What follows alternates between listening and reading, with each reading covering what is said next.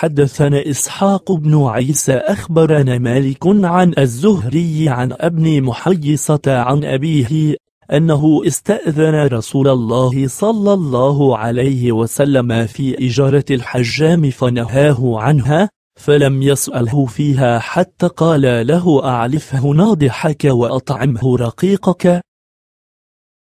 حدثنا إسحاق هو أبن عيسى حدثنا مالك عن الزهري عن حرام بن محيصة أن ناقة للوراء دخلت حائطا فأفسدت فيه فقد رسول الله صلى الله عليه وسلم أن على أهل الحوائط حفظها بالنهار وأن ما أفسدت المواشي بالليل ضامن على أهلها.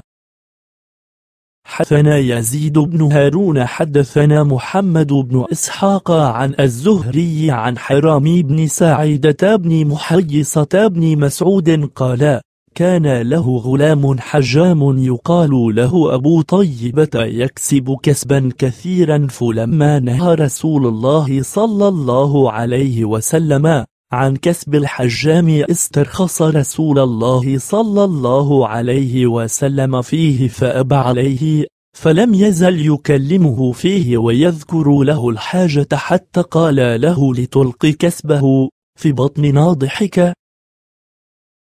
حدثنا سفيان عن الزهري عن حرام بن سعد بن محيصة أن محيصة سأل النبي صلى الله عليه وسلم عن كسب حجامين له فناهاه عنه فلم يزل به يكلمه حتى قال اعلفه ناضحك وأطعمه رقيقك.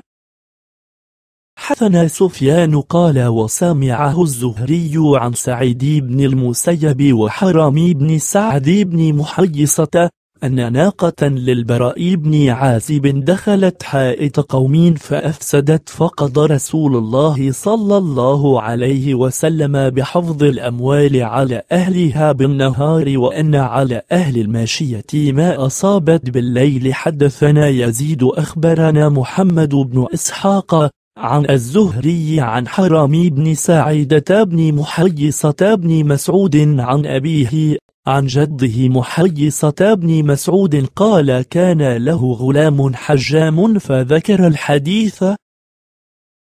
حدثنا عبد الرزاق أخبرنا معمر عن الزهري عن حرام بن محيصة عن أبيه أنه سأل النبي صلى الله عليه وسلم عن كسب الحجام فنهاه فأعاد عليه فنهاه فذكر. من حاجته فقال اعلف ناضحك وأطعمه رقيقك.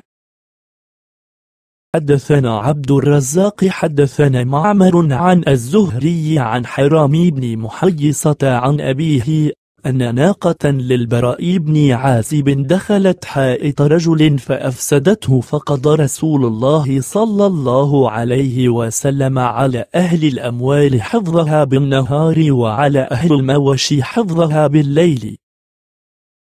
حدنا يزيد أخبرنا ابن أبي ذئب عن الزهري عن حرام بن محيصة عن أبيه أنه سأل النبي صلى الله عليه وسلم عن كسب الحجام فنهاه عنه فذكر له الحاجة فقال اعلفه نواضحك.